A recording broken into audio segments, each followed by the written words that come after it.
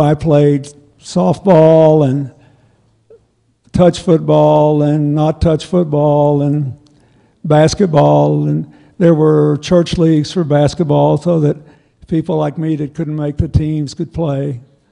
I mean, we had a good time, but it was considered normal to do it and everybody wanted to participate whether they were very good or not.